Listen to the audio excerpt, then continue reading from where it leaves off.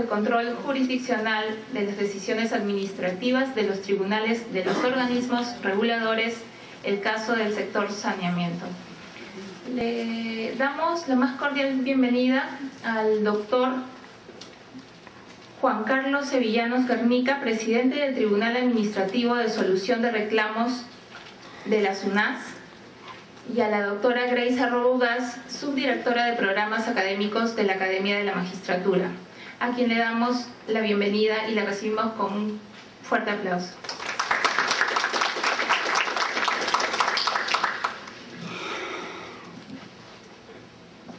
Señores magistrados del Poder Judicial y del Ministerio Público, señores auxiliares de justicia, señor doctor Juan Carlos Sevillanos Garnica, presidente del Tribunal Administrativo de Solución de Reclamos de la SUNAS.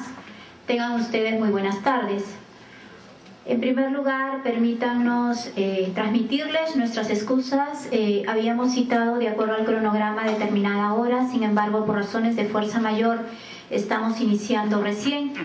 Sin embargo, vamos a poner de parte de ambas entidades coejecutantes el mejor de los esfuerzos para que el cumplimiento de los objetivos académicos sea llenado a su plenitud.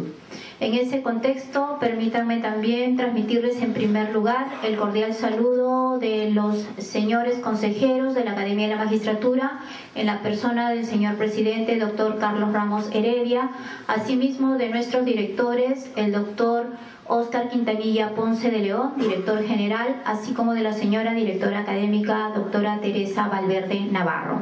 Conforme indicó nuestra presentadora, nos convocamos a efectos de la ejecución de la conferencia Efectos del control jurisdiccional de las decisiones administrativas de los tribunales de los organismos reguladores, el caso del sector saneamiento. Conferencia que hemos estructurado para desarrollarse a lo largo de dos sesiones.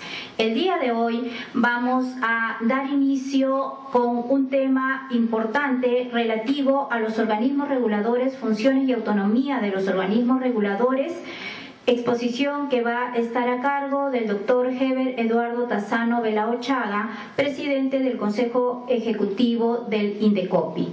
Y asimismo tenemos la participación del doctor Juan Carlos Sevillanos como presidente del Tribunal Administrativo de Solución de Reclamos de la SUNAT con el tema Sistema de facturación en los servicios de agua potable y alcantarillado, importancia de los pronunciamientos del Poder Judicial en las demandas contencioso-administrativas. El próximo miércoles vamos a realizar los propios y con el compromiso de la puntualidad del caso. Antes de culminar nuestra presentación, permítanos también el recalcar la importancia no solamente de su presencia en este recinto en ambas sesiones para el cumplimiento de los objetivos académicos, sino también para el cumplimiento de los requisitos establecidos a efectos de la respectiva certificación. Nos permitimos recordarles que han de reunir un total del 70% de asistencia entre ambas fechas a efectos de poder acreditar. A través de la página web nosotros eh, indicamos la oportunidad en las cuales la certificación correspondiente se encuentra a vuestra disposición para que puedan apersonarse a recabarla y obviamente de acuerdo a lo que se indicó en la respectiva convocatoria se requiere también de que eh, adjunten la ficha de inscripción así como el comprobante de pago por derechos académicos. Aprovechamos también la oportunidad para eh, poderles eh, recomendar el hecho de que si tuvieran algunas certificaciones pendientes de recojo, pudiesen previa comprobación en la web para efectos de que puedan acercarse ante la Subdirección de Gestión Académica y Registros, quien es quien las pone a su disposición. Estamos ya, doctores, casi al término de este año académico. Esperamos que a lo largo de las distintas oportunidades puedan en realidad haber participado en las diversas actividades de capacitación y aprovechamos también la oportunidad para invitarlos a participar y prevenir previamente tomar conocimiento de la oferta académica que vamos a lanzar a partir del 2014. En ese contexto es importante les hagamos presente que la Academia de la Magistratura para brindar un mejor servicio y que su capacitación en realidad cumpla los objetivos trazados ha variado la malla de estudios. En ese contexto es importante que ustedes vayan construyendo su propia malla de estudios respecto de quienes siendo auxiliares, por ejemplo, buscan luego ingresar al programa de formación de aspirantes PROFA o quizá quienes tengan la condición de magistrados titulares puedan también seguir participando en actividades como esta para poderlas acreditar en su momento a través del programa de capacitación para el ascenso.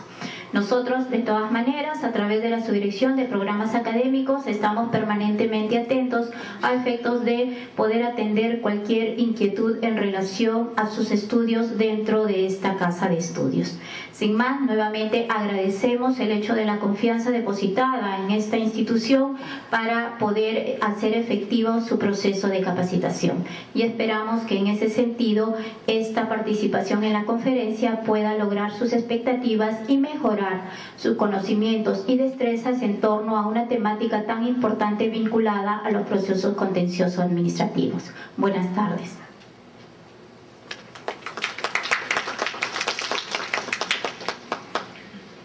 Damos el uso de la palabra al doctor Juan Carlos Sevillanos Garnica, presidente del Tribunal Administrativo de Solución de Reclamos, para que inaugure esta conferencia. Adelante, doctor. Lo recibimos con un fuerte aplauso.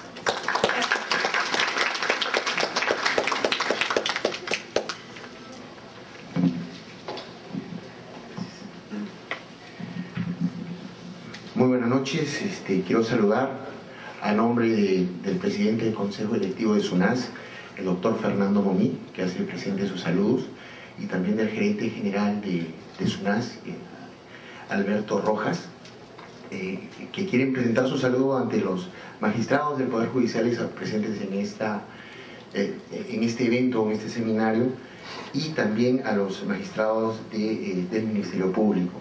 Gracias por asistir este, a este evento que para nosotros es de, principal importancia, este, básicamente porque nuestro, nuestro deber en, esta, en este seminario es difundir la labor que hace eh, la Superintendencia Nacional de Servicios de Saneamiento y la vinculación que tenemos de alguna manera con el Poder Judicial en el momento en que muchos de nuestros fallos este, son ventilados como en, en la vía contenciosa administrativa. Para nosotros es de fundamental importancia el conocimiento de este, de este tema que se acerquen a nosotros, bueno, nosotros acercarnos a ustedes para que de repente este, comenzamos a compartir parte de lo que es la regulación en el Perú, que nosotros creemos que ha avanzado bastante. Y también es para mí muy grato, y, y, esto no sería posible gracias a la colaboración de la Academia de la Magistratura, en, la persona de la, este, doctora Grace Arroba, su directora académica de esta institución eh, eh, con, esto, eh, con estas palabras quiero dar por inaugurado y agradecer realmente este, su confianza y vamos, vamos a, llevar adelante un curso sencillo, porque la idea es buscar en un lenguaje sencillo este, llegar a, ustedes para que vean cómo es la regulación del servicio de agua potable y alcantarillado, un tema tan sensible para nosotros y para todos, porque todos finalmente somos usuarios de este servicio. Muchísimas gracias.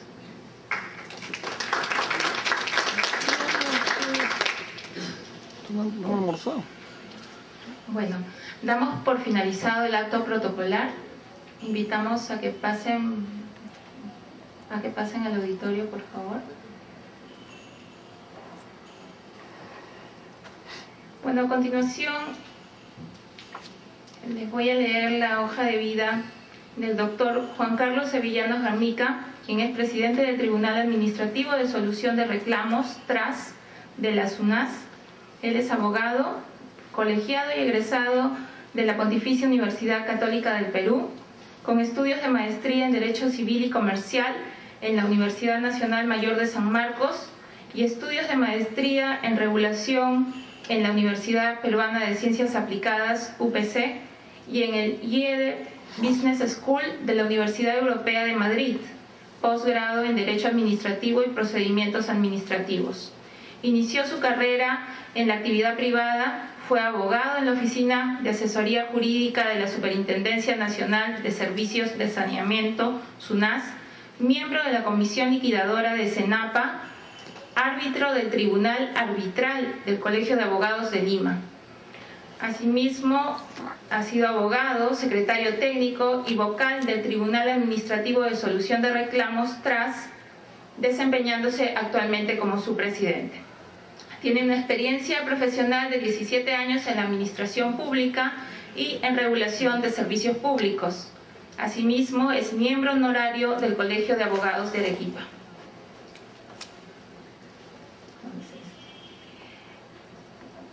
La reseña profesional de nuestro segundo participante, expositor, es del doctor Heber Eduardo Tazano Belauchaga, presidente del Instituto Nacional de Defensa de la Competencia y de la Protección de la Propiedad Intelectual, INDECOPI.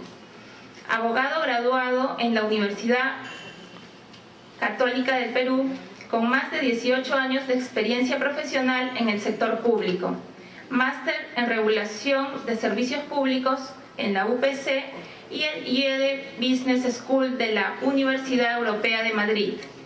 Asimismo, cuenta con estudios de maestría en ciencia política en la Pontificia Universidad Católica del Perú, posgrados en regulación del sector eléctrico en la Universidad Pontificia, comillas, de Madrid, Derecho de la Energía en la UPC, regulación de servicios públicos en la Pontificia Universidad Católica. Asimismo, cuenta con experiencia en la asesoría legal al sector privado y en especial al sector público en las áreas de energía, competencia, protección al consumidor, saneamiento, infraestructura y derecho administrativo.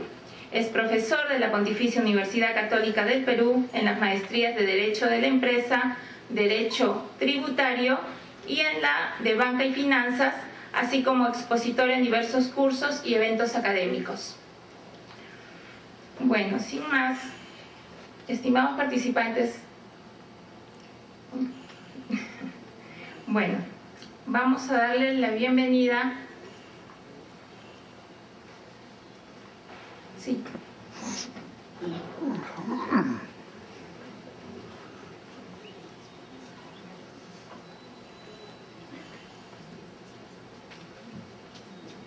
Le damos la bienvenida al doctor Ever Eduardo Tazano Belauchaga, presidente del Instituto Nacional de Defensa de la Competencia y de la Protección de la Propiedad Intelectual, INDECOPI.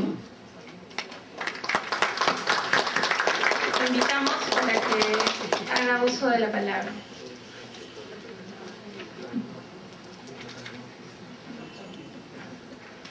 Buenas noches con posible tal vez apagar las luces de acá para que esté más claro la pantalla. Y como en el colegio todos se sientan atrás, ¿por qué? Aquí no les vamos a tomar control, no les vamos a hacer preguntas.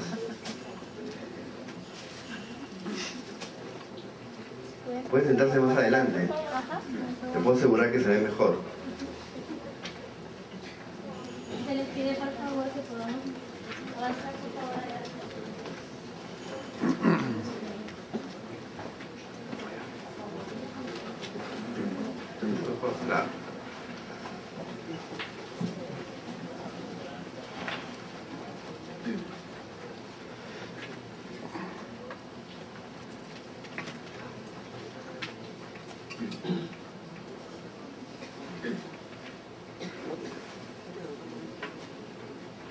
Bueno, así buenas noches con todos. Muchísimas gracias a la SUNAS por organizar este evento y por invitarme.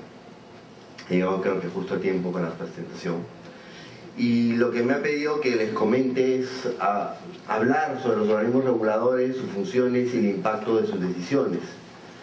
Y creo que es un tema muy interesante poder conocer lo que son los organismos reguladores, cuál es su función, cuáles son los temas complicados que tienen que ver, eh, tomando en cuenta también y resaltando la importancia del rol que cumplen los mismos en la actividad que les corresponde, que es la regulación de los servicios públicos.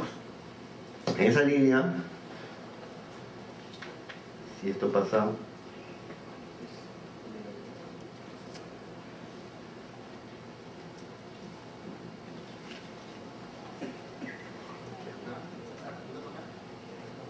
No. Mientras que se... Acá arriba, dicen que acá arriba.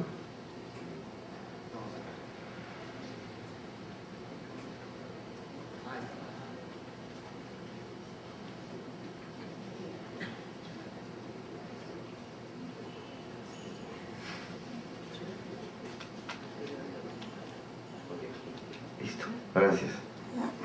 Perfecto.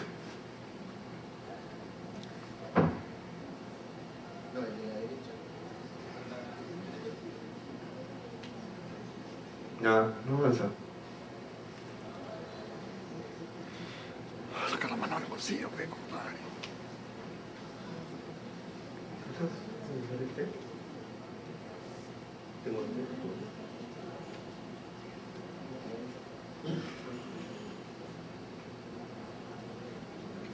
Bueno, como les decía, retomando el, retomando el tema, creo que es un tema de la distancia. Si no pone el USB, nomás que te he dado, con eso...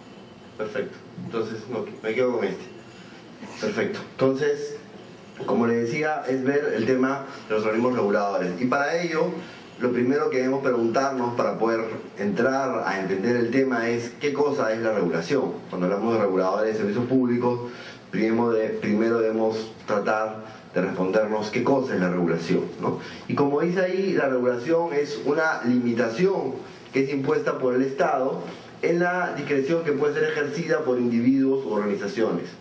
Por lo tanto, la regulación es parte del poder coercitivo que tiene el Estado, justamente la potestad de poder usar las normas, en este caso las normas administrativas, para poder imponer un tipo de condiciones un tipo de acciones.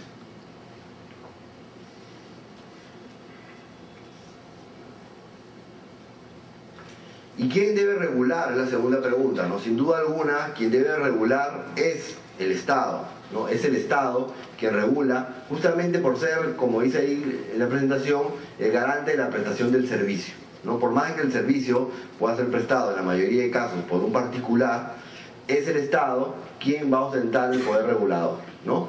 Ahora, lo que es importante para entrar justamente en el tema es que no cualquier dependencia estatal puede o debe asumir la responsabilidad de la regulación económica.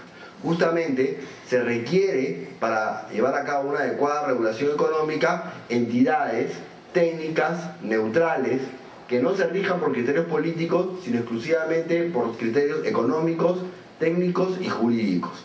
Eso es muy importante para poder respondernos con claridad a la pregunta de quién debe regular. Debe regular el Estado, pero no cualquier entidad del Estado, sino una, ent- una entidad del Estado que tenga algunas condiciones particulares. Justamente eso es lo que vamos a ver, ¿no? Además, también que tenga claramente definido un ámbito legal de autonomía e independencia con respecto a los controles del Estado, ¿no? Otro punto muy importante. Ordinariamente se diría que son los ministerios quienes deberían ser los reguladores ¿no? al, al ejercer la función concedente y ser ellos los que van a poder entrar a regular los servicios que están dentro de su ámbito de competencia. Pero normalmente se entiende que el ministerio es una entidad más política, es la entidad que lleva a cabo la política de gobierno del gobierno del turno, ¿no? la política del Estado del gobierno del turno. Por lo tanto, se entiende al ministerio como una entidad técnica, perdón, política, a diferencia de un organismo regulador que debe ser una entidad más técnica. Por eso, no se le da la, la facultad de regular al ministerio porque, repito, debe tener unas condiciones más técnicas y el ministerio es identificado como una entidad más política. También, eh, como le decía, sin embargo, ser organismos de dirección política es inconveniente que asuman esta función. Por lo tanto, surge la necesidad de contar con autoridades de regulación independientes dentro del Estado. Pero con márgenes de autonomía e independencia que justamente les permitan dedicar esta delicada función que vamos a ver al detalle en qué consiste. Entonces, ¿quién debe regular? El Estado, pero no cualquiera dentro del Estado, sino una, sino una entidad con características y condiciones especiales. ¿no? ¿Cuál es la justificación de la regulación económica? Sin duda alguna, la necesidad de controlar el excesivo poder derivado de la situación de monopolio natural, la corrección de las externalidades del mercado y la corrección de inadecuada información a los consumidores. Sin duda alguna, una de las razones para que exista regulación económica es porque el mercado, el libre mercado que todos conocemos, que todos actuamos en el día a día, existen fallas. El mercado no es perfecto. Una de esas fallas, por ejemplo, es la simetría de la información, es decir, las empresas tienen mucho más información de la que podemos tener nosotros los consumidores. El tema de la fijación tarifaria también es otro, otro tema que se da en, como una falla del mercado al momento de poder establecer las adecuadas condiciones. Entonces, tomando en cuenta las externalidades y la necesidad de hacer correcciones en el mercado, justamente se justifica que existe una entidad que entre regular. Más aún en actividades como son la distribución de electricidad, la red de saneamiento, la telefonía, donde son monopolios naturales, donde solamente es eficiente que opere una sola empresa. Frente a ello, por lo tanto, se hace necesario que exista una entidad del Estado que fije las condiciones bajo las cuales se va a prestar el servicio. No podríamos, no podríamos tener una entidad que preste un servicio público y que cobre un precio, es decir, el precio que fije la oferta y la demanda, sino lo que uno paga por los servicios públicos dados en condiciones de monopolio natural, repito, por las condiciones técnicas de la prestación del servicio, debe ser regulado, debe ser fijado de una manera técnica. Y aquí es importante diferenciar entre lo que es regulación y competencia. ¿no? Muchas veces a veces se confunde, a veces no se entiende. La regulación eh, va a ser ex antes. ¿no? Justamente vamos a tener a entidades que van a intervenir antes de que se lleven a cabo las actividades, que justamente en el caso, por ejemplo, de los servicios de agua, de los servicios de electricidad, van a fijar las condiciones previamente de cómo se va a prestar el servicio, cuál es la calidad, cuál va a ser la tarifa que van a cobrar. A diferencia de la competencia que actúa ex post, es decir, en el caso del derecho a la competencia, tenemos que esperar que se den las conductas de las empresas para en ese momento recién intervenir y recién participar, poder supervisar o sancionar. En el cambio de la regulación, no, la intervención ex antes. ¿Y cuándo se da ex antes? Justamente en las industrias reguladas. ¿Y cuáles son las industrias reguladas? Las industrias que están bajo el ámbito de competencia de los organismos reguladores, que son los servicios públicos prestados en condiciones de monopolio natural. Justamente porque se prestan en condiciones de monopolio natural y por las características del servicio que están brindando. La regulación es un control sobre acciones, ¿no? Normalmente es más fácil y efectivo de implementar, sin duda alguna tiene un poder disuasivo, ¿no? Hay mayores posibilidades de error, obviamente porque tú estás presuponiendo ciertas circunstancias, estás presuponiendo una determinada situación, ¿no? Y también podría ser eh, manipulable políticamente. Es más fácil que pueda ser manipulada políticamente si no tenemos una entidad con las características que hemos señalado. En el cambio, en la competencia, ¿no? como le decía, es un control ex post, ¿no? se evalúan las acciones que lleva a cabo la empresa, más complicaciones y menos efectivo de implementar, porque sin duda alguna las empresas tienen maneras de poder ir, eh, por decirlo de alguna manera, escondiendo aquellas prácticas que puedan afectar a la libre competencia. Es decir, hoy en día no hay empresas que, que fijen un acuerdo de directorio, un acuerdo de precios eso ya no existe. Eso, por ejemplo, se dio en el famoso caso de los pollos de la, de la década del 90, donde sí había un acta donde se fijaba los precios que se iban a vender los pollos. Hoy en día eso es muchísimo más difícil de ubicar. Hoy es un reto para las eh, autoridades de competencia poder descubrir cuándo hay una colusión, cuándo hay un acuerdo. ¿no? Y sin duda alguna, además, hoy en día en el uso de la tecnología se hace aún más complicado. ¿no? Y en el uso de la tecnología se discute si uno como agencia de competencia puede, por ejemplo, intervenir el correo personal de los abogados de la empresa. Puede intervenir, por ejemplo, el WhatsApp, ¿no? Para ver si a través de eso se ha dado una colusión, un acuerdo de precios. Son discusiones que hoy en día se dan.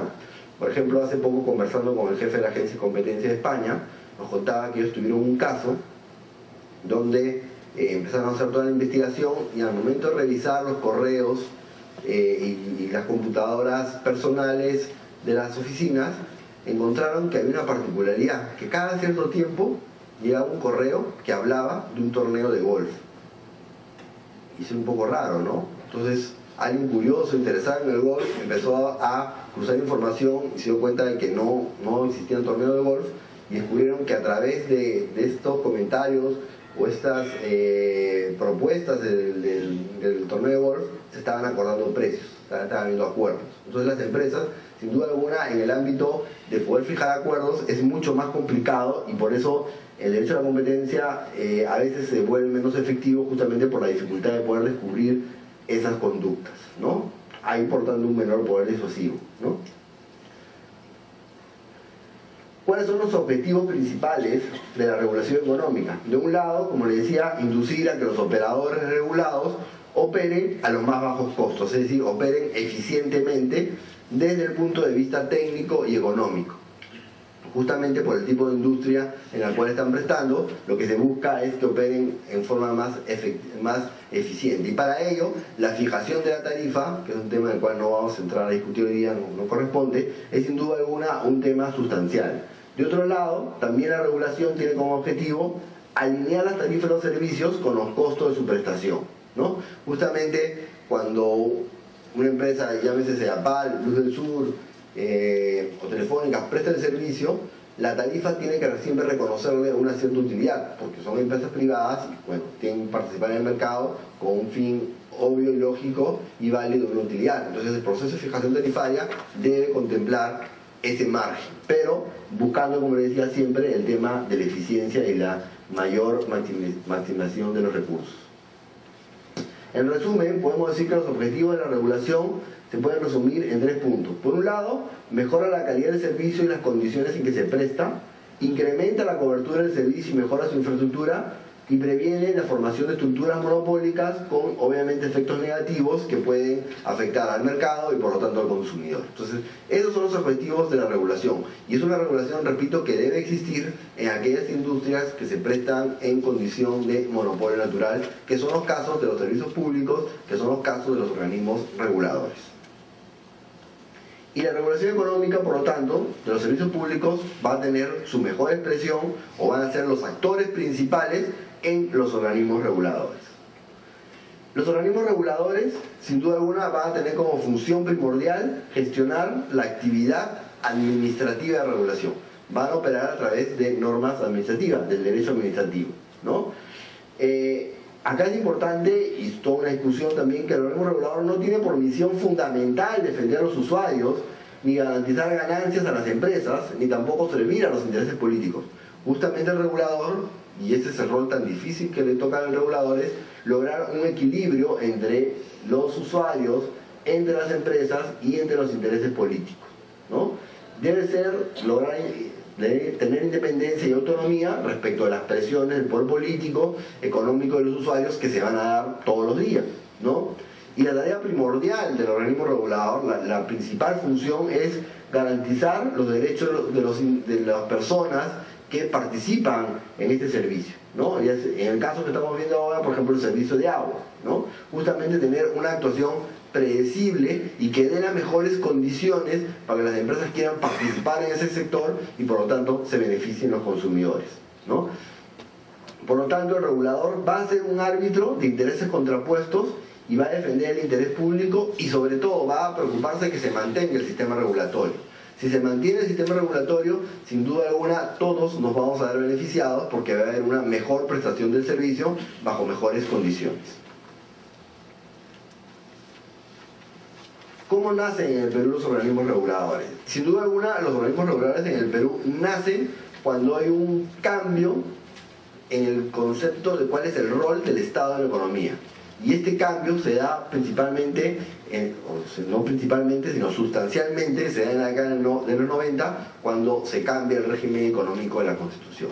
A partir de ahí cambia el rol que debe tener el Estado en la economía y se hace de un Estado que ya no va a participar en forma directa en las actividades económicas, sino va a dar un pase a los privados, pero al momento que da el pase a los privados, el Estado se va a reforzar, va a ser eh, más fuerte para poder supervisar que esta prestación que va a dada por parte de los particulares sea dada en las condiciones debidas, justamente volviendo al punto anterior, lo que es los objetivos de la regulación económica. Entonces, en el Perú, como parte de un proceso similar al que se presentó en otros países como Argentina y Chile, se produjo un proceso de transformación del rol del Estado en la economía que se desarrolló durante la última década del siglo XX y que determinó que se liberen los sectores del mercado a la participación privada. Consecuencia de esta reorientación del, papel del Estado en la economía, se creaban los organismos reguladores, ¿no? Y ahí es donde empieza a crear OCIPTEL, crea OCINER, hoy día SINERMIN, SUNAS, ¿no? Y OCITRAN. Entonces nacen ahí los organismos reguladores, ¿no? Inspirados normalmente en modelos anglosajones que tenían entidades muy similares.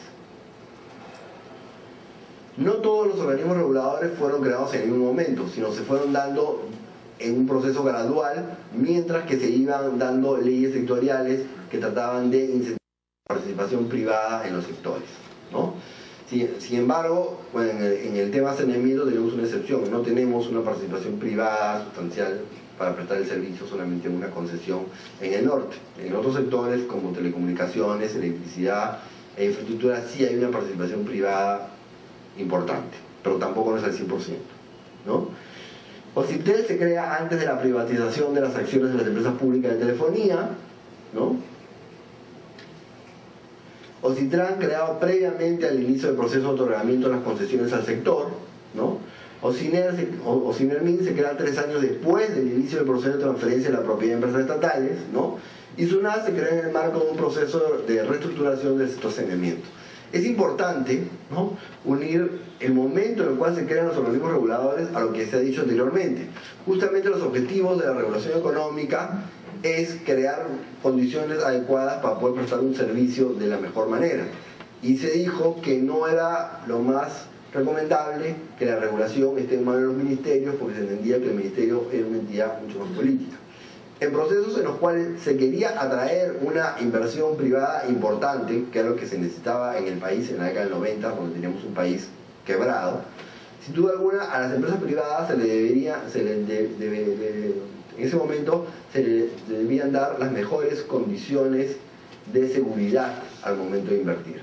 Y esas condiciones, parte de esas condiciones era crear una institución que dé confianza un ministerio, repito, era identificado como algo más político y por lo tanto se necesitaba algo diferente. En ese marco, en esa idea, entre otras razones, es que se crean los organismos reguladores como entidades técnicas independientes y que le daban la señal al privado, de decirle ven privado a invertir acá y la tarifa del servicio que tú vas a llevar a cabo no va a ser fijado en forma política por un ministerio, sino va a ser fijada de una manera técnica por un organismo reguladores que tiene una autonomía, que tiene una independencia y que tiene una capacitación especial. Entonces, yo como privado digo, caramba, esto sí me da la seguridad de que puedo invertir, de que puedo participar en ese sector. Entonces, ese es el rol importante que cumple el organismo regulador en este proceso. ¿no? Al ser creados, sin duda alguna, en diferentes momentos, los organismos reguladores en un principio tenían diferentes funciones y diferente conformación interna. Por eso es que luego en el año 2000 se da la ley marco de los organismos reguladores que unifica tanto sus funciones como su estructura.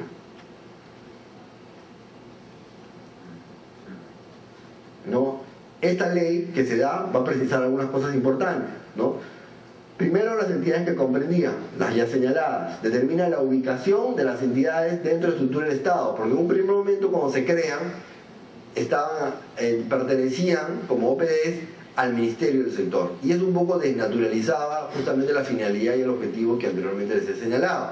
Por lo tanto, con esta ley marco se trata eh, de hacer un cambio y se pone que dependen de la presidencia del Consejo de Ministros como un ministerio mucho más independiente, más objetivo, que no eh, va a influir en la actuación de las entidades, reguladoras. ¿no? Clasifica las funciones que le corresponden ejercer como la supervisora, reguladora, normativa, fiscalizadora y sancionadora. solución de controversias entre empresas y reclamo de los usuarios. ¿no? La base responsable de la supervisión de las actividades de post-privatización, que en esos momentos no había quien, quien asumiera esa función, va a tener eh, sus potestades de investigación bastante fuertes, ¿no? dispone que la dirección de los eh, citados organismos reguladores corresponde a un consejo directivo, ¿no? no solamente una persona, una persona preside el consejo directivo, pero es un directorio, ¿no? Eh, va a contar con un tribunal de solución de controversias, se van a financiar con el aporte por regulación, es decir, los organismos reguladores no se financian con la plata del tesoro público.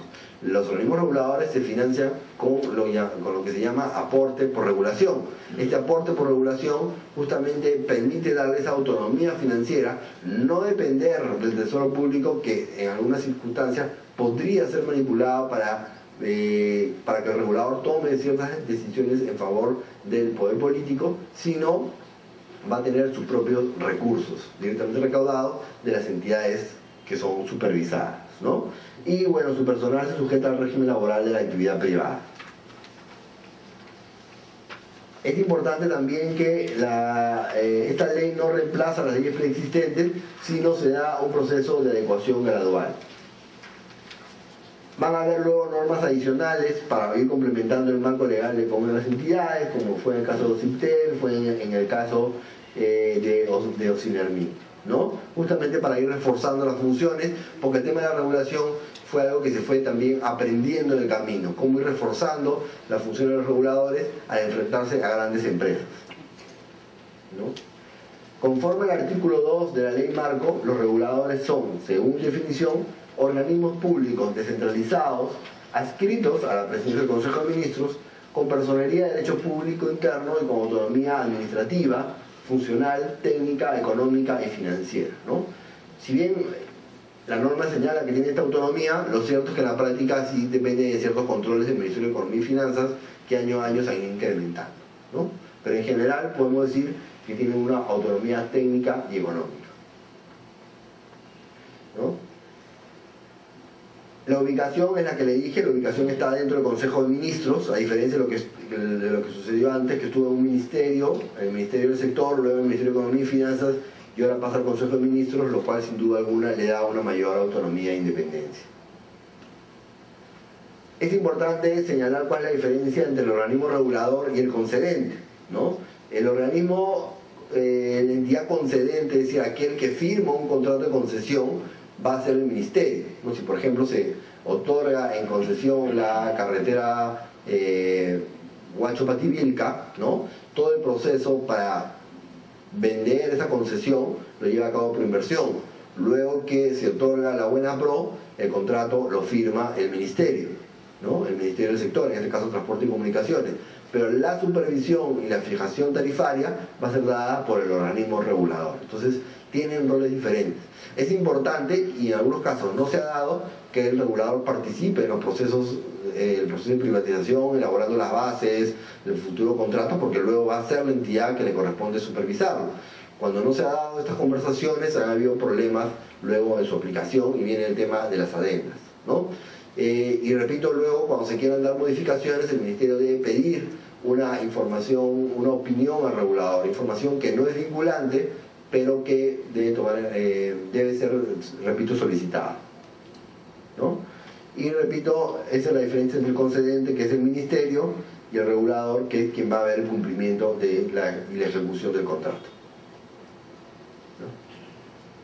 En el caso del Perú, como les decía, eh, vamos, van a actuar dentro del marco de la normativa vigente, ¿no?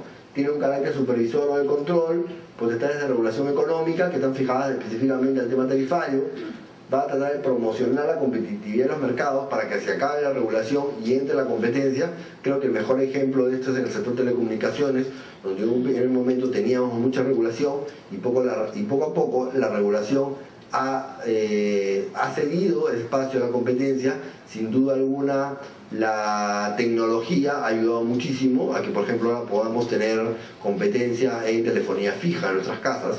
Cuando inició esto, la competencia en telefonía fija era impensable, ¿no? Hoy en día ya podemos tener competencia en telefonía fija, un poco la tecnología y el organismo regulador ha incentivado a pasar de regulación a competencia, ¿no?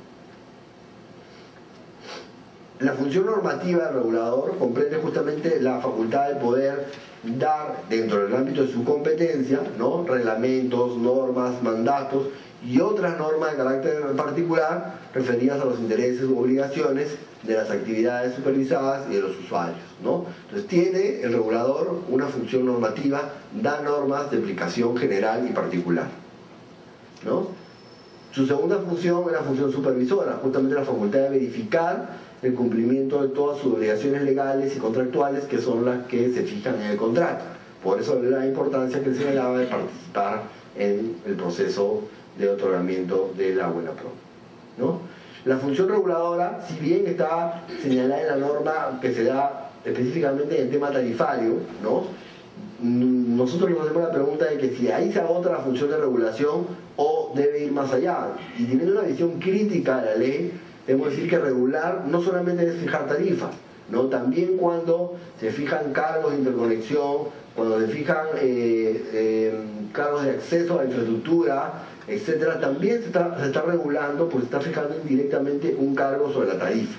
¿no? Entonces, la regulación, si bien la norma habla de tarifas, una interpretación extensiva de la misma debe ir un poco más allá.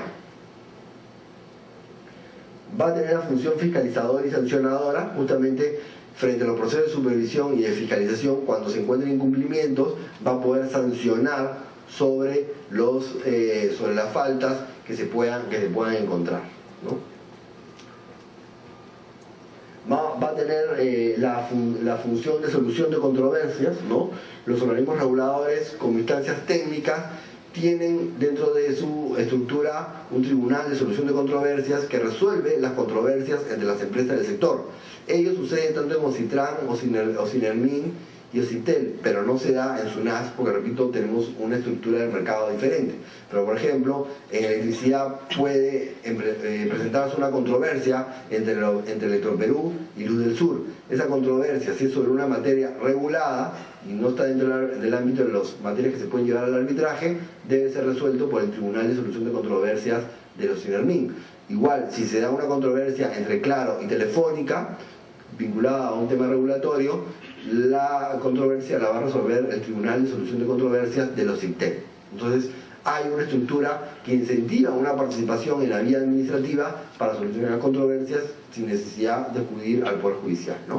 Y es una vía previa, porque también, eh, también es importante señalar que lo que resuelve el tribunal puede ser apelado en la vía de contención administrativa ante el Poder Judicial. Y tenemos la función de solución de reclamo de usuarios.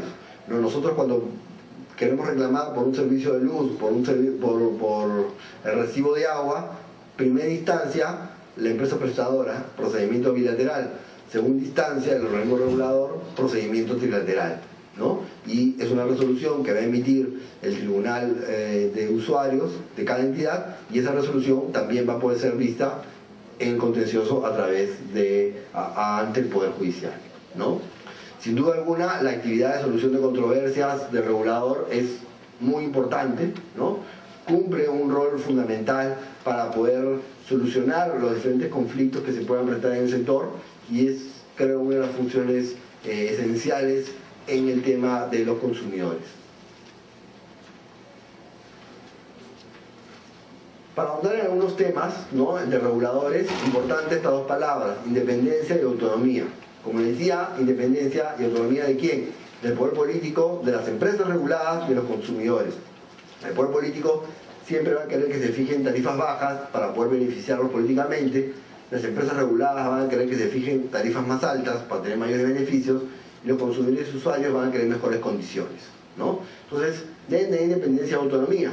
Y la pregunta es, ¿quién los controla? Bueno, el control tiene que ser hecho según el mandato constitucional, por el Poder Judicial. Es el Poder Judicial a quien le corresponde ejercer el control de legalidad sobre la actuación de las resoluciones de los organismos reguladores. Pero debe tener una estructura que le dé una independencia y una autonomía de estos tres actores. ¿No? Y esto porque la paradoja de la regulación. La regulación está en medio, por un lado vamos a tener los precios, las tarifas, las condiciones, la innovación, la inversión, la calidad. Y al medio de la regulación, y la regulación tiene que lograr un equilibrio entre todos estos temas. Y ahí es el rol y el reto justamente del regulador. es justamente lo que decía, lograr el equilibrio entre todos estos aspectos.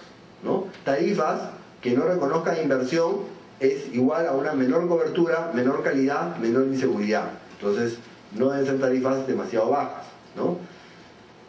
Y son tarifas muy altas, van a ser rentas monopólicas, menos cobertura, por falta justamente de capacidad económica de los usuarios de poder contratar. Entonces, debe lograrse un equilibrio entre tarifa baja y tarifa alta. ¿No? Hay sin duda alguna mucho riesgo de captura por populismo, por rentas monopólicas, por inestabilidad política. Por eso siempre el marco legal debe vacunar a los reguladores de toda posible captura. ¿no? Solamente así va a poder cumplir este rol tan difícil, va a poder lograr este equilibrio tan complicado que tiene. ¿no? Y la autonomía debe ser legal, ¿no? Puede ser, algunos discuten a nivel constitucional, y si no, las normas deben tener mecanismos para que los nombramientos eh, sigan un proceso, ¿no? y si se quiere instituir un presidente del organismo regulador, también tenga un proceso preestablecido con todas las garantías del caso, y no sea un cargo político que se esté cambiando cada rato. Debe tener también una independencia económica, justamente el aporte por regulación permite lograr esta independencia económica. Una solvencia técnica, sin duda alguna, la capacidad y la autonomía no van a valer mucho si el regulador no tiene una solvencia técnica y para tener una solvencia técnica debe tener buenos profesionales, profesionales debidamente capacitados, que conozcan el tema y que puedan discutir de tú a tú con el abogado, con los asesores de la empresa regulada. Por lo tanto, importante que cuenten con una solvencia técnica. Sin duda alguna, creo que los reguladores peruanos en general logran esa solvencia técnica con creces. Y si comparamos el modelo de organismos reguladores que tiene Perú con otros países, no cabe la menor duda que estamos bastante bien. Y sin duda alguna también deben tener transparencia en la gestión.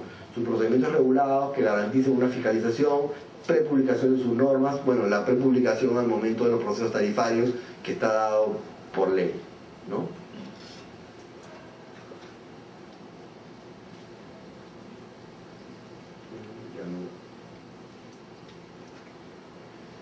Bueno, en el tema de la autonomía, autonomía legal, ¿no? se habla de los periodos de los directores, la idea es que no coincidan con el periodo del presidente o del legislativo, que se ha escalonado justamente para darle esta independencia. ¿No? La independencia económica, lo que les hablaba del aporte por regulación, que lo tienen los reguladores. La solvencia técnica, justamente lo que les señalaba, puede establecer una línea de carrera de los organismos reguladores una remuneración adecuada y obviamente condiciones de empleo competitivos, contratos estables, para que no exista una fuga al, sector privado, aunque el Estado es muy complicado que pueda competir sin duda alguna con el sector privado, pero se hace el esfuerzo y no les cabe la menor duda que los reguladores tienen muy buenos profesionales. ¿no?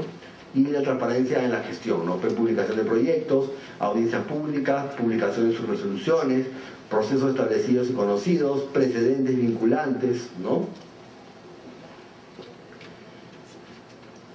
Una relación con las asociaciones de consumidores en el tema de los reclamos, justamente para poder llevar a cabo acciones de coordinación en defensa de los derechos de los consumidores, ¿no? Las cosas que se podrían mejorar, tal vez alguna reforma constitucional, a nivel legal, dar rango a algunas normas que son decretos supremos para repito, poder tener una vacuna más fuerte contra una posible intervención con los reguladores. Esto sin duda alguna es la relación con los intereses, ¿no? el organismo regular medio, consumidores, gobierno y empresas reguladas, que van tirando hacia los lados del regulador para que beneficie a uno de ellos. Y el regulador debe mantenerse al centro y no dejarse capturar por ninguno de ellos. ¿no? Más aún porque la actividad regulatoria tiene objetivo, proteger a los consumidores, promocionar la eficiencia económica en el tema tarifario y garantizar inversiones. ¿no? Cada uno de los actores debe lograr este equilibrio. ¿no? Y repito, por eso el difícil reto del regulador. ¿no? El problema de la regulación, sin duda alguna, está muy bien dicho en esta frase. ¿no? Los reguladores deben diseñar e implementar las políticas que mejor servicio a largo plazo brinden a los consumidores y ellos deben mostrar credibilidad, resistiendo las presiones de corto plazo. Eso es justamente el gran reto que tiene el regulador. poder brindar las mejores condiciones a los consumidores, tener credi- credibilidad y que resistan las, las presiones de corto plazo, que se dan, repito, en forma, en forma más o menos seguida. ¿no?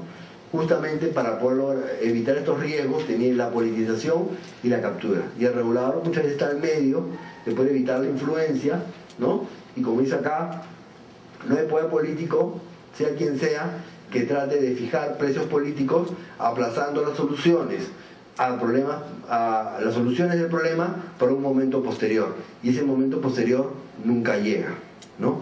Creo, ya que estamos en el tema de saneamiento, que hace poco se ha eh, creado una comisión investigadora para investigar el alza de las tarifas de agua en, algunos, en algunas regiones. El regulador solamente está cumpliendo con su rol, ¿no? pero ya ven cómo hay, hay un claro ejemplo de una presión política para poder fijar una tarifa. ¿no? Recordar el tema de la autonomía, justamente que es la capacidad institucional para establecer políticas y decisiones independientes basada en el interés de todos los agentes económicos, justamente de todos los agentes que hemos señalado para lograr el equilibrio entre consumidor, empresa y Estado que garantice las inversiones.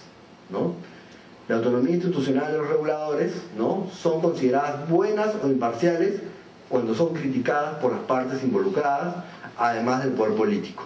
Si todos hablan bien del regulador, hay que preocuparnos. Cuando se le critica, cuando se le comenta algunas cosas, quiere decir que no estamos tan mal, que los reguladores están haciendo su trabajo para tratar de lograr ese equilibrio. ¿No? Y en el tema de la regulación, un tema muy importante y muy delicado es justamente el que mencionaba, la tarifa. ¿no? La tarifa justamente es considerada como la contraprestación que se paga por un servicio público y están sujetas a la supervisión. La fijación de la tarifa es una gran excepción al régimen constitucional de libre mercado, ¿no? Y este ejercicio de la potestad regulatoria por la cual se fijan las tarifas es justamente potestad del poder público que se fija a través del regulador.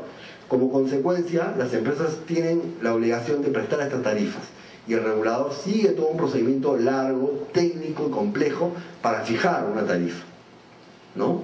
La, aprobación, la aprobación de la tarifa va a implicar requisitos, metodología, principios de eficiencia y objetividad y basarse en costos debidamente auditados y establecidos. ¿no? Por ello, sin duda alguna es muy importante que cuando el cuestionamiento o una resolución tarifaria de servicios públicos pueda llegar al Poder Judicial, el Poder Judicial tome los criterios adecuados para poder evaluar, ¿no? Porque si no, puede afectarse la, la eficiencia de las empresas, puede ocasionar la salida del mercado de empresas, puede haber un aprovechamiento por parte de los consumidores, entre otras medidas, ¿no? Por eso es que en el proceso, repito, se fijan algunos criterios y, repito, es un componente importante en las funciones del regulador y en, la función de la regulación económica y son los temas que mayormente van al Poder Judicial y el Poder Judicial debe, repito, sobre la base de la explicación dada del rol de los reguladores, de su participación en garantizar las inversiones y por lo tanto el desarrollo económico y los objetivos de la, de la revolución económica, tomar en cuenta estas ideas. ¿No? Por lo tanto, el control judicial debe respetar el sometimiento pleno de la administración al derecho, ¿no? Como parte de la administración son sometidos, debe haber un marco actual para poder calificar un momento político o el control judicial, luego debe, deben someterse, ¿no? Sin embargo, hay que ver cada uno de los temas que están dando al momento de poder fijar la tarifa, ya que la tarifa no solo afecta al prestador de servicio, sino también a otras personas, a otros usuarios, tiene una gran implicancia. Por lo tanto, hay que tener eh, mucho cuidado si se va a modificar una tarifa, cuáles son las condiciones. Yo creo que más que nada deberían fijarse en el procedimiento en sí. Y eso es un poco lo que quería contarles sobre los reguladores, sus funciones y su vinculación a un tema sustancial que es el tema de la fijación tarifaria. Muchas gracias y quedo a su disposición para cualquier pregunta.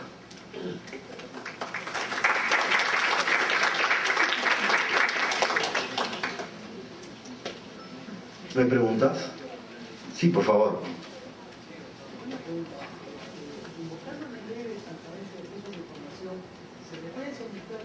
a una empresa operadora en información, no.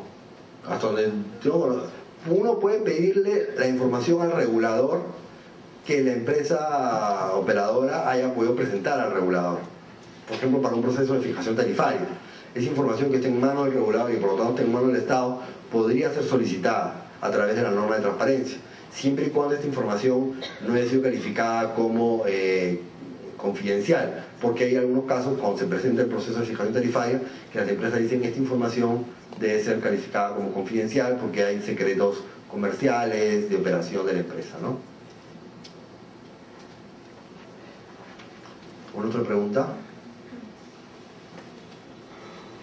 ¿No hay? Bueno, entonces muchas gracias.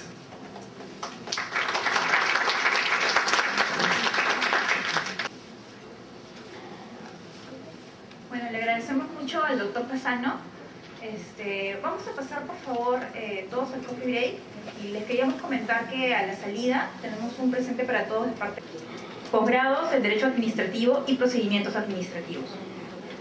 Inició su carrera en la actividad privada, fue abogado en la Oficina de Asesoría Jurídica de la SUNAS, miembro de la Comisión Liquidadora de SENAPA, árbitro del Tribunal Arbitral del Colegio de Abogados de Lima, abogado, secretario técnico y vocal del TRAS, desempeñándose actualmente como su presidente.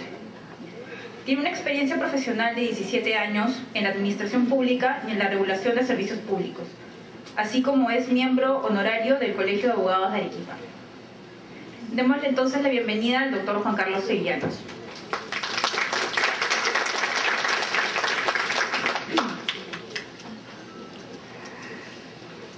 Podríamos apagar la luz también igual si no no se va a ver. Oh,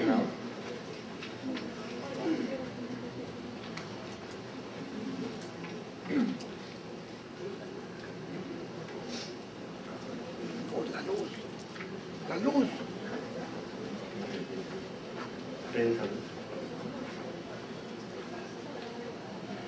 Bueno, muy buenas noches.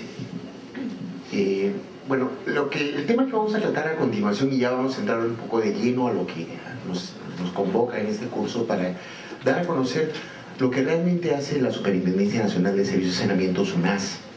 Como organismo regulador, nosotros una de las principales funciones que hacemos es fijar las tarifas.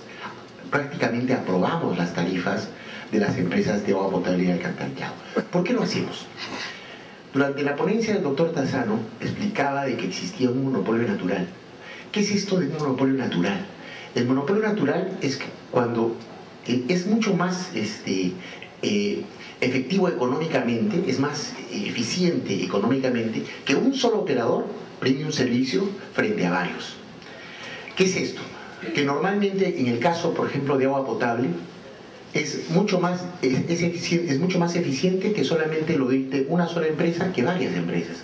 Porque imagínense, para poder brindar el servicio en competencia, tendría que haber cinco o cuatro empresas que brinden el servicio de agua potable, lo cual es materialmente imposible, porque tendrían que haber cinco ¿no?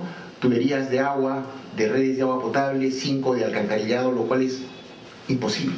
Entonces, en ese caso, es mucho más eficiente que exista una sola empresa. Pero al existir una sola empresa, esta podría poner qué cosa, los precios que quisiera y, y ser, es un monopolio natural, ¿no? Y podría poner el precio que quisiera para cobrar por el servicio. Y esa es la razón de la existencia del regulador, que es el que va a fijar una tarifa. ¿Para qué? Asegurarle a esta empresa prestadora que tenga una rentabilidad adecuada, que finalmente los usuarios paguen por un servicio, por un servicio adecuado, ¿no? en buenas condiciones, ¿no? y, de acuerdo a las características sociales, inclusive básicamente como es el caso del, del- del servicio de agua potable y alcantarillado. Porque si nos ponemos a pensar, el servicio de agua potable y alcantarillado es un servicio fundamental y básico para la vida humana. ¿No? Sin él no podemos vivir. De repente podemos hablar sin podemos vivir sin un teléfono, aunque algunas personas ya no. Pero también podemos vivir sin electricidad, ¿no? Pero, o sin internet. Pero sin agua es prácticamente y materialmente imposible. Entonces, esa es la razón de la existencia ¿no? de un regulador. Y nosotros regulamos el servicio, eh, el- justamente eh, una de las labores es fijar la tarifa. Y una de las cosas que normalmente nosotros no conocemos es el precio que pagamos por los servicios públicos. Si yo les pregunto a ustedes cuánto cuesta un kilowatt hora, probablemente ninguno me conteste. y no sepan cuánto cuesta un kilowatt hora. Pero si les pregunto probablemente cuánto cuesta un minuto de su teléfono celular, eso sí me lo pueden contestar. ¿Saben por qué? Porque existen operadores, claro, y por otro lado Movistar, que se preocupan en comunicarles e informarles el precio. ¿Para qué? Para que ustedes puedan elegir. ¿Elegir qué? El que más le conviene, ya sea un minuto en Movistar o un, minuto en, en, Claro, ¿no? Y el que les salga más a cuenta, ustedes elegirán. ¿Y eso qué cosa es competencia? Por eso ustedes tienen esa información. A veces demasiada información. Tienen tantos planes que no saben cuál elegir. Pero en el caso del agua, ¿tienen alguna opción? No tienen ninguna opción. Ustedes tienen que contratar con Sedapal y solamente con Sedapal porque no les queda otra opción. Entonces, Sedapal se va a preocupar en darles el el precio por el metro cúbico que ustedes reciben en su casa? No, porque es, más, probablemente ni siquiera saben que se les factura por metro cúbico, que significa cuánto es un metro cúbico de agua, mil litros. Esa es la unidad de medida de la facturación. Y eso quiero entrar a explicarles, porque si no se entiende cómo se factura, jamás vamos a entender cuál sería la problemática del servicio de agua potable y alcantarillado. Y eso es lo que voy a pasar a comentarles la regulación tarifaria. ¿Cuál es el objetivo de la regulación tarifaria y en qué se preocupa el regulador? El regulador se, preocupa en, establecer tarifas que cubran por lo menos los costos totales de la prestación del servicio bajo condiciones de eficiencia. ¿Qué significa esto? Que el regulador le va a decir a la empresa, te voy a fijar una tarifa, pero tú no tienes, tú no vas a tener que hacer gastos suntuosos, por ejemplo, que yo no te voy a reconocer. Tu servicio o tus costos tienen que ser eficientes. O sea, tú tienes que tener una empresa eficiente porque yo no te voy a pagar precios suntuarios. Les pongo un ejemplo. Supongamos que para abastecer el servicio de agua este, tengo dos opciones. Una opción es sacar y desalinizar el agua, sacar el agua de mar, ¿no? Y convertirla en agua potable y prestar ese servicio. Esa es una opción. La otra opción es de repente hacer un pozo o de repente hacer un trasvase de un río. ¿Cuál es más barato? Lo más barato probablemente será hacer el trasvase del río o de repente hacer el pozo, frente a desalinizar el agua, por ejemplo. ¿No? Pero la empresa puede decir, no, yo quiero, soy una empresa moderna, quiero desalinizar y a futuro, ese, ese es el futuro. Sí, pero es muy caro. Y eso no te lo va a reconocer el regulador. El regulador va a exigirte que seas eficiente, que busques prestar el servicio de la manera más económica para el usuario, más aún cuando estamos en un servicio como, como el de agua potable y alcantarillado.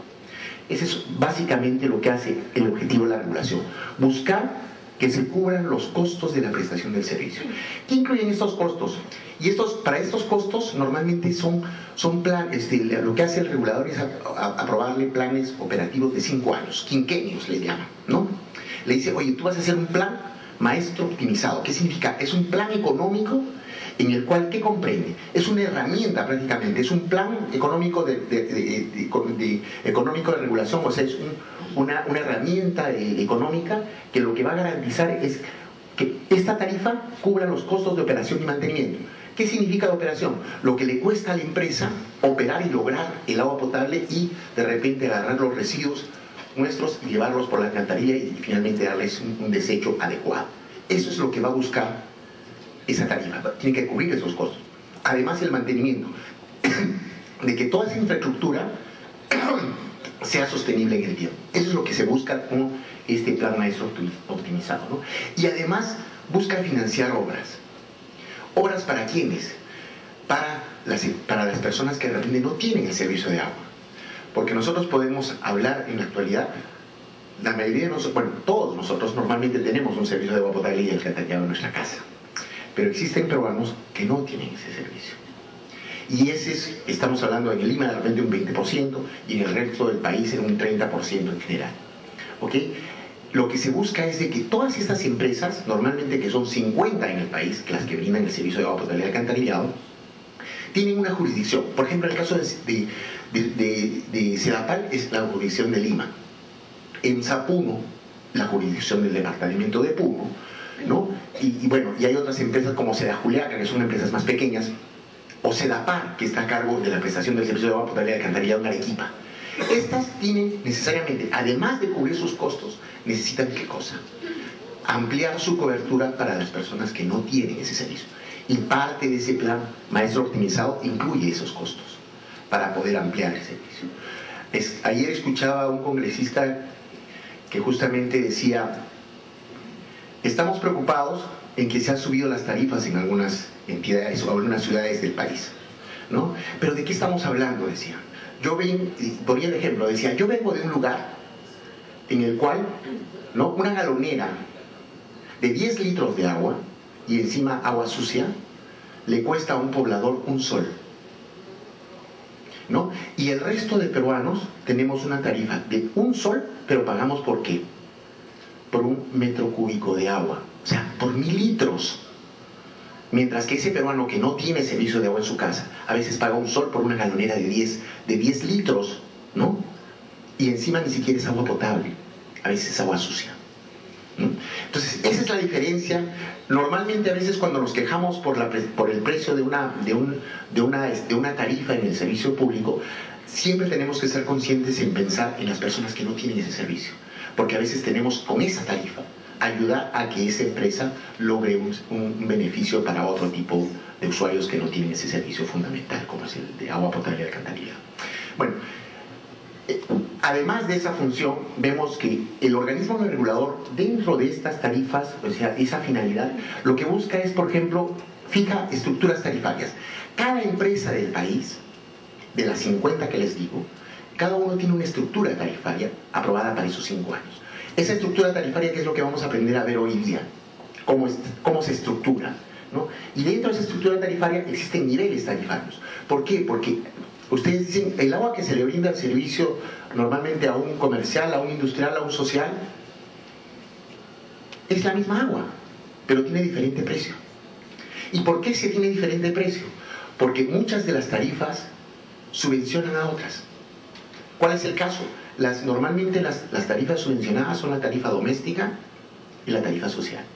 Y eso es la estructura que vamos a conocer ahora y que quiero que ustedes conmigo caminemos un poco de la mano en esta, en esta ponencia para ir viendo cómo es una estructura tarifaria, para ver cómo es el razonamiento del, regulador respecto a esta estructuración que ha hecho de las, de, las, de las tarifas, que es una de las funciones que tenemos como regulador. Eh, hay un elemento adicional que solamente quería mencionar, que son las tarifas de oficio. Ustedes saben que las tarifas normalmente son aprobadas, y lo vamos a ver acá, la tarifa es aprobada por SUNAS a propuesta de quién, de la empresa prestadora. Estas empresas prestadoras están a cargo de los municipios este, provinciales de, de- de los departamentos en el Perú. Y muchas veces estas tarifas tienen que ser solicitadas por, el, por, la- este, por las autoridades, ¿no? que normalmente están representadas en las empresas. Pero como son muchos son alcaldes, no quieren subir los precios de, los- de las tarifas porque no es muy popular o no tiene réditos políticos el tener una, una tarifa, elevar la tarifa. Y obviamente van a evitar hacerlo. Y para, para solucionar ese tema, a veces este, lo que ha hecho SUNAS con el tiempo es hacer tarifas de oficio, o sea, hace el estudio tarifario y emite una, una tarifa y, dice a la empresa prestadora tienes que aplicarla y se aplica y, y bueno, y viene funcionando así, ¿no? Bueno, uno de los este, conceptos previos que tenemos que ver es lo que les decía. La tarifa es aprobada por SUNAS a propuesta de la empresa prestadora de servicios. La facturación es por el servicio efectivamente prestado. Hace un rato lo hemos tenido acá, este, al, presidente, al presidente del Consejo Directivo de Indecopi, que, que, bueno, es que es uno de los principales promotores ahora pues, de- del Código de Defensa del Consumidor y dentro del Código de Defensa del Consumidor y las normas anteriores inclusive al Código, lo que se establecía que toda prestación de un servicio público tiene que responder a un servicio efectivamente prestado. O sea, que a mí no me pueden cobrar por algo que, por un servicio que no me prestaron. ¿no? Y ahí dicen, se van a dar cuenta, la facturación es por el servicio efectivamente prestado y por unidad de uso. ¿Qué es esto de unidad de uso? Y yo estoy poco a poco tratando de introducirlos en lo que es la estructura tarifaria y cómo se tarifica en el Perú. Una unidad de uso es una unidad independiente de uso del servicio. ¿Qué significa esto? Supongamos tenemos un edificio de departamentos, 10 departamentos en un edificio, ¿no? Cada departamento es una unidad independiente de uso. Es independiente de uso del otro departamento frente al otro. O sea, si tenemos, por ejemplo, una oficina, un este, edificio de oficinas, cada oficina hace el uso independiente del servicio de la otra. Entonces, cada unidad de uso es en función a esa, es a quien se le cobra. Ahora, si yo tengo mi casa, solamente mi casa, y tengo una conexión domiciliaria que abastece mi casa, esta casa es una unidad de uso independiente, ¿no? Si tengo una fábrica o tengo un colegio, ese colegio tiene una sola actividad, ya esa también es una unidad de uso. Es el uso independiente del servicio en una unidad determinada frente a otra. Esto lo vamos a ir entendiendo a lo largo de, de, la exposición porque también está relacionada con parte de la estructura tarifaria que vamos a ir analizando. La facturación incluye el servicio de agua potable, el servicio de alcantarillado sanitario, un cargo fijo y colaterales. Les explico. El servicio de agua es el servicio que, que me presta la empresa. ¿Qué es lo que hace la empresa? Trae el agua de la fuente, la trata, la convierte en agua potable en su planta de tratamiento, después la transporta por sus líneas de conducción, ¿no? Y después llega hasta dónde? Llega hasta las conexiones domiciliarias, ¿no? Por las redes de agua potable y me entrega este, el agua en mi domicilio. Esa prestación es la prestación del servicio de agua potable. Finalmente, después de eso, ¿qué otro servicio me presta? Después de que yo utilizo el servicio de agua potable y, bueno, y obviamente hay desechos, utilizo el alcantarillado, donde boto esos desechos y bota el agua utilizada y ¿qué cosa hace la empresa? Recoge esa, este, mediante sus tuberías, recoge esa, es, todos esos desechos, los transforma, los trata y después los bota a la fuente natural. Eso es lo que hace y ese es el servicio de alcantarillado. Después comprende estas facturaciones el costo fijo. ¿Qué es el costo fijo? Son los costos fijos en los cuales la empresa normalmente incurre en la prestación del servicio. ¿Cuáles son? Básicamente les voy a dar algunos ejemplos. El ejemplo eh, claro es, por ejemplo, tengo que emitir un recibo. Tengo que ir a tomar la lectura del medidor, ¿no? Todos esos son costos fijos que están reflejados en la tarifa y transparentados en la tarifa. ¿Ok? Y vamos a ver cuánto cuestan. Y los colaterales son servicios, son servicios normalmente también regulados, que también se que presta la empresa ocasionalmente. ¿Cuál pueden ser? De repente una reubicación de, de caja de medidor, podría ser el cierre del servicio. Supongamos que a mí me de, dejo de pagar dos facturaciones, van y me cierran el servicio de agua. ¿Ok? Una vez que me cierran el servicio de agua, este, la empresa ha incurrido en costos y es, y es solamente un costo, una, un servicio que me puede prestar exclusivamente la empresa. Y me lo repone. Esos costos es un colateral aprobado. Y finalmente, ¿quién lo, lo cobra? Lo cobra la empresa mediante la facturación. Y eso también está regulado. Así como el costo de, de repente de la, de, cortar la conexión de luz también está regulado, ¿no? Pero eso por el caso de Ocinarmin. En el caso de agua está regulado por este, la Superintendencia Nacional de Servicios de Saneamiento, SUNAS. Volumen de agua se factura por diferencia de lecturas de medidor o por asignación de consumo. ¿Qué es esto? Hace un rato yo les hablaba que la facturación del consumo de agua potable y del servicio de alcantarillado se hace por metro cúbico. ¿Qué significa esto de metro cúbico? Nosotros tenemos un medidor instalado en, en este, el ingreso de nuestra casa que van todos los meses y lo leen, ¿no? Ahí van registrando los metros cúbicos que van entrando, que son mil litros cada metro cúbico, ¿no? El, y nos toman las lecturas, se van a dar cuenta, la, la facturación es mensual, ¿verdad? Normalmente es mensual. Y eso también está regulado, está establecido de que son 12 facturaciones al año. ¿no? Y que la empresa tiene que tomar la lectura entre 28 y 32 días. Ese es el, el rango que tiene para la empresa para tomar una lectura. Y me van a entender por qué se le da un rango a la empresa para que cobre esa facturación o para que tome lectura. ¿no? Entonces la empresa tiene que, entre 28 y 32 días, tiene que ir y tomar lectura de ese medidor y ahí va, y comparándola con la lectura que hizo el anterior mes, sale la diferencia de lecturas de ese medidor y sale cuántos metros cúbicos este, consumí y eso es lo que me cobran. Y eso está acorde a lo que les decía, normalmente me van a cobrar en base a qué? Al servicio efectivamente prestado. ¿no?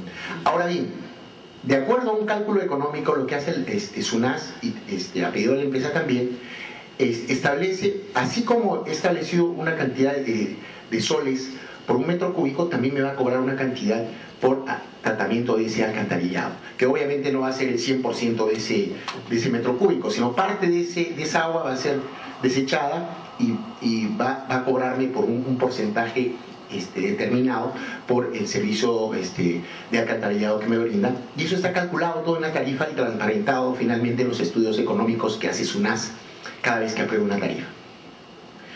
¿Ok? Estos son los preceptos básicos iniciales para... Acá lo que quiero es presentarles, esta es una estructura tarifaria. Acá se pueden dar cuenta lo que cuesta un metro cúbico de agua. La tarifa social, que la tarifa doméstica, ¿se han dado cuenta? Ahí dice residencial, social doméstico, y después también dice, acá dice no comercial, y dice, no, no residencial, y dice comercial, industrial y estatal. Dense cuenta que hay dos tipos de facturación, la residencial, precios, y también la no residencial. Y se van a dar cuenta en esta columna de acá, que ahí están los precios por metro cúbico y van a, ver una diferencia en estos precios por metro cúbico. Por ejemplo, en social, de 0 a más es un sol punto 025 por agua potable, por metro cúbico. Y por alcantarillado 0.44, bueno, 448, o sea, menos de, de 50 céntimos ¿no? por metro cúbico por el servicio de alcantarillado. Eso es esa tarifa social. ¿Para quién se las aplica? La vamos a ver más adelante. ¿ya? Tenemos la tarifa doméstica. La tarifa doméstica, dense cuenta que así, acá sí hay un desagregado. De 0 a 10 metros cúbicos, los primeros 10 metros cúbicos me los van a cobrar un sol punto 0.25. ¿Ok? Y el alcantarillado 0.448. En el segundo rango, si yo en el mes tengo más de 10 metros cúbicos, entre 10 y 25 ya no me va a costar 10.025, sino me va a costar un sol con 190 céntimos. ¿No? Ahora, si me pasara de 25 a 50 ya me va a costar más. ¿Y esto por qué ocurre? Porque lo que se busca es un uso racional. Dense cuenta, la tarifa doméstica es una tarifa normalmente subvencionada. ¿Quién subvenciona esta tarifa? ¿Qué significa el subsidio? Que yo no pago el precio real. Yo pago parte del precio y hay alguien que paga por mí. Esa diferencia la paga alguien por mí. ¿Quién paga ese, ese adicional? Lo paga normalmente la tarifa comercial e industrial. ¿Por qué se hace esto? ¿Por qué? Porque se ha entendido de que el servicio de agua potable es fundamental para la vida humana y se debe priorizar el uso doméstico. ¿Por qué? Porque es más importante preservar la vida humana que el que quiera lucrar o el que quiera tener un negocio tiene que pagar por el servicio que realmente cuesta y algo más. ¿Por qué? Porque lo que se busca es tutelar el derecho a la vida. ¿Ok? Y dar esa prioridad. Así que cuando yo esté consumiendo agua, hay gente que está a veces pagando por esa agua que yo estoy consumiendo. Ahora, ¿pero por qué se da esta diferencia de precios? Porque lo que se busca es incentivar a un uso racional. O sea, que yo use lo que necesito. Si, si gasto mucho, voy a pagar más también. Y de repente va a llegar un momento, cuando ya pase los 2.63, cuando ya estoy en el tercer rango, ya no me están subvencionando, ya estoy pagando el precio y algo más. Estoy comenzando a subvencionar al, al que consume menos. Entonces, es por eso que se busca esto. Se busca que haga un, incentivar un uso racional. Por eso que también se incentiva mucho decir ahorra el agua, no lo gastes, porque este es un, recurso finito, o sea, se va a acabar. ¿no? Y tenemos que buscar que mientras menos este, el, agua que no utilicemos la, la, va a necesitar otro peruano. Así que este es un poco el razonamiento que se tiene en una estructura tarifaria. Ahora bien, por otro lado tenemos la tarifa comercial. La tarifa comercial, dense cuenta, tiene solamente dos rangos. ¿No? Y su rango más bajo comienza en 4.465. Vamos a ver quiénes son los comerciales, porque no necesariamente el nombre refleja, el nombre, los nombres son eh, referenciales, quienes están ubicados. El industrial obviamente son básicamente las, las este, toda la eh, actividad de transformación industrial y finalmente estatal. El estatal es una tarifa 2.502 que es una tarifa este, especial para las entidades del Estado. ¿no? esta tarifa eh, no está subvencionada, normalmente esa tarifa es la tarifa media. ¿Qué se llama esto de tarifa media? Yo también, bueno, yo también soy abogado así, y la mayoría creo que somos abogados acá, y cuando hablamos de tarifa media estamos entrando al campo de los economistas, ¿no? Y una tarifa media es realmente la tarifa, lo que cuesta el agua potable, lo que cuesta producir, y este, es el costo real. Y básicamente alrededor de esta tarifa está lo que cuesta el metro cúbico de agua y el tratamiento del alcantarillado. ¿Ok? Esta es una primera presentación. Dense cuenta, una estructura tarifaria no es tan fácil o tan sencilla como la, la podíamos ver. Pero por lo menos yo creo que a partir de ahora ya tenemos una idea de cuánto pagamos por metro cúbico de agua, que está acá. ¿No? en, este, en este rango, porque normalmente un, un predio doméstico tiene de, de 3 a 4 personas, puede tener en Lima un promedio de, de 30, 35 metros cúbicos de consumo. Bueno, la siguiente. Acá vamos a ver un poco lo que les decía hace un rato. La tarifa doméstica, normalmente la tarifa doméstica es la tarifa de todas las, de todas las viviendas dedicadas a vivienda. Esa es una tarifa especialmente para los domésticos, ¿no? O sea, nuestras casas. Social, son normalmente piletas públicas. ¿Qué es esto de piletas públicas? Las piletas públicas son, un ejemplo es el callejón de un solo caño. Un callejón donde hay, todas las personas van y reciben su agua y la llevan a su habitación o, o a, la- a su casa y solamente ese es el único caño que abastece. O sea, no tienen el servicio de agua directamente en su domicilio, sino que tienen un servicio común. Esto también, las piletas públicas existen en los asentamientos humanos, en los cuales hay muchas casas adscritas a un solo pilón y las casas van, las familias van y recogen el agua y se sirven así y tienen el servicio de agua potable para ellos. ¿ok? También hay este, tarifa social para los comedores populares, los asilos, las iglesias, este, eh, los bomberos y bueno, las piletas, las piletas públicas, está repetido. Y finalmente tenemos el no residencial, que es el comercial, bodegas, mercados, bancos, colegios. ¿no? Ahora, dense cuenta, eh, y el estatal finalmente entidades del Estado y gobierno central y regional y municipal. También están incluidas dentro de la tarifa estatal los colegios y las actividades de salud que son del Estado. ¿no? O sea, colegios y toda la, toda la actividad de salud es comercial, a excepción de los que están a cargo del Estado. Esa es la norma. ¿Ok? O sea, la Universidad de San Marcos, por ejemplo, es una universidad del Estado. Le corresponde la tarifa estatal. ¿Ok? Una gran unidad también, que ahora ya no se llaman creo grandes unidades, pero estas grandes unidades que son colegios estatales también les corresponden. El, Hospital Rebagliati, que es de salud, que es una entidad del Estado, también le corresponde tarifa estatal. Una clínica privada como la Clínica Javier Prado le corresponde una tarifa comercial. Ahí hay una gran diferencia. ¿Ok? A continuación. Ahora, yo les hablé al inicio de que había una facturación por diferencia de lecturas de medidor. ¿Qué significa?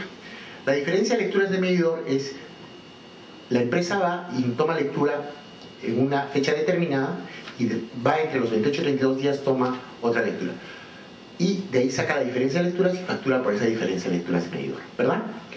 Pero existen algunos otros casos en los cuales no, no ocurre esto. ¿Por qué? Porque simplemente no hay medidor de consumo. Entonces dicen, oye, si no hay medidor de consumo y me vas a facturar por una, por, por una cantidad de metros cúbicos, ¿cómo calculas estos metros cúbicos? Si no tienes medidor y nunca has tenido medición. Bueno, esa es la realidad en nuestro país. Em- Existen empresas que no tienen la capacidad de poner un micromedidor o un medidor de consumo en todas las conexiones que instalan.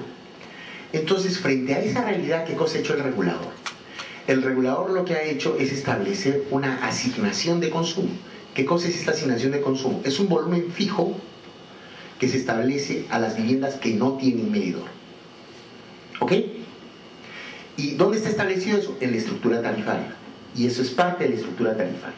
Supongamos, ha establecido para Lima, en la tarifa social, si yo recibo menos de 4 hasta 3 horas, me la empresa me va a cobrar 4 metros cúbicos que son equivalentes a 5.89 más un cargo fijo que es 4.89. ¿Se van a dar cuenta? Es que ese cargo fijo que yo les decía que son los cargos fijos en los cuales incurre la empresa en la prestación del servicio está repetido en todos, porque ese cargo fijo es, es fijo, por eso o sea, es estable para todos y se establecido en todas las tarifas están. Pero bueno, además de eso mejor el IGB, o sea, un usuario social va a pagar 12 soles 72 si tiene hasta, hasta 3 horas de abastecimiento. Le van a cobrar 4 metros cúbicos. Si yo tuviera como social más de 4 horas, o sea, de 4 a 24 horas, me van a cobrar 10 soles con 31, que son equivalentes a 7 metros cúbicos, el cargo fijo y también el IGB, y finalmente voy a pagar 17 soles 93. Ese va a ser mi cargo si es que no tengo medidor. Si ya tengo medidor es diferente porque el medidor va a determinar el volumen que yo tengo. ¿Ok? ¿Cómo salen estas asignaciones de consumo? Estas asignaciones de consumo normalmente son promedios que se dan en las zonas que normalmente se está midiendo el servicio. Ahora bien, veamos la tarifa doméstica. La tarifa doméstica, si yo tengo hasta 3 horas, me van a cobrar mensualmente 17 metros cúbicos, equivalentes a 26 soles con 71, ¿no? Y me van a cobrar un cargo fijo, de- el mismo, el de 4.89, el, este, el IGB, y yo pagaré 37 soles al mes. Esa va a ser mi tarifa. Si es que no tengo medidor y mi servicio es hasta 3 horas. Y soy doméstico. ¿Ok? Adicionalmente a eso, si tengo de 4 a 24 horas, me van a cobrar 61,70 y cuatro- eh, también la- el cargo fijo, finalmente el IGB, y voy a pagar 78 soles. ¿no? Ese va a ser mi consumo. ¿En qué sectores? Fíjense acá. En Barranco, Breña, Cercado, Chorrillos, Geneguía, Jesús María, ¿no? Lince, Los Olivos, Magdalena, Miraflores. Les he puesto todo. Este es, este es un término real, o sea, esta es una estructura real. ¿no? Se las pongo la de Lima porque básicamente todos vivimos en Lima y es el primer acercamiento que podemos tener son los servicios que nosotros recibimos. ¿ok? Ahora, hay un grupo 2 en el cual la tarifa es un poco menor, la asignación es un poco menor y es, por ejemplo, 15 metros cúbicos y 21 si tengo más de 4 horas y finalmente son, son distritos de repente de, de condición económica un poco más baja, ¿no? Y también están incluidos los asentamientos humanos del grupo 1, porque en estos sectores también hay asentamientos humanos, ¿no? Y esos- eh, los que están clasificados como asentamientos humanos también tienen esa tarifa, la tarifa del grupo 2. Ahora, dense cuenta, en el caso del comercial, más bien no hay diferencias para todos los distritos y ya la estructura tarifaria es fija. Y ahí también está hasta 15 metros cúbicos, 18 metros cúbicos es de más de, de 4 horas a 24, en el industrial de 27 también es igual y en el caso de estatal es la misma tarifa. ¿Ok? Esa es una estructura tarifaria que se establece, dense cuenta, primero hemos visto que existen categorías, categorías tarifarias y, acá estamos viendo niveles tarifarios, es de acuerdo al horario de abastecimiento que pudiéramos tener, pero en el caso de que no tenga medidor. ¿Mm? La siguiente. Cálculo del volumen a facturar por el servicio de agua potable. Volvemos a entrar nuevamente a, otro, a otra problemática del sector. Eh, dale otro clic para que aparezca otro más. Ahí está. La facturación es fun- en función del volumen en metros cúbicos, yo les decía. ¿Qué pasa si tengo un medidor instalado? ¿Me van a facturar qué cosa? Por la diferencia de lecturas del medidor. Y la diferencia de lecturas del medidor la van a cobrar de 28 a 32 días. Ahora, ¿por qué se ha establecido? Principalmente se ha establecido esto de 28 a 32 días. ¿Por qué? Porque si yo acumulo dos meses, en el caso del doméstico, voy a subir de rango en rango. Y la tarifa, mientras va subiendo en metros cúbicos, va aumentando. Entonces a la empresa le cobre- de repente le, le convendría cobrar dos meses juntos, porque ya no me va a cobrar 25, sino me va a cobrar 50 o 52 metros cúbicos. Y al acumularlo y al aplicar la estructura tarifaria, como es por rangos, va a ser más cara. Entonces es por eso que el regulador le dice, tú, perfecto, tienes rangos, tienes niveles, pero tienes que tomar lectura cada 28 a 32 días para poderlo cobrar adecuadamente. Porque si no, podrías abusar, ¿no? Es por eso que se ha establecido el rango de 28 a 32 días. Adicionalmente, ¿qué sucede si se malogra el medidor? Y la empresa tiene que cambiarlo y se demora en cambiarlo.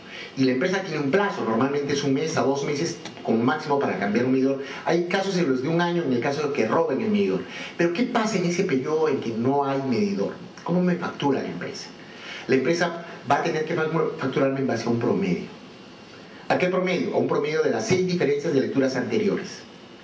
¿No? Ese es el promedio que me van a facturar. ¿No? Como máximo, si es que no tengo este, 6, de repente tengo 5 en base a 5. Si tengo 4, en base a 4. Si tengo 3, 3, en, base hasta 2. Bueno, ya uno no es, no es un promedio, así que ya no. Mm, eh, tiene que ser de 2 a 6. Pero si no hay medidor, me tiene que cobrar ese promedio. ¿Ok? En tanto, no me instalen medidor. Y, y finalmente, si no tengo medidor, ¿cómo me factura la empresa? De acuerdo a la asignación de consumo que hemos visto anteriormente. ¿Puedes retroceder una, por favor? Esta asignación de consumo que les decía, ¿se acuerdan que no había, no tengo medidor? Ya, estas asignaciones de consumo de acuerdo a la categoría en la que estoy clasificado. ¿Ok? No, este, por favor, regresa nomás, porque quiero explicarles un tema acá y que quiero que les quede claro. Yo les decía también que esta facturación se hace en función de unidades de uso. ¿Qué significa esto de unidades de uso? Yo les decía, es el uso independiente del agua una de, otras unidades de uso. ¿Qué pasa? Podría ser un edificio, supongamos un edificio de departamentos que tiene, o sea, de 10 departamentos, pero tiene una sola conexión y tiene un solo medidor.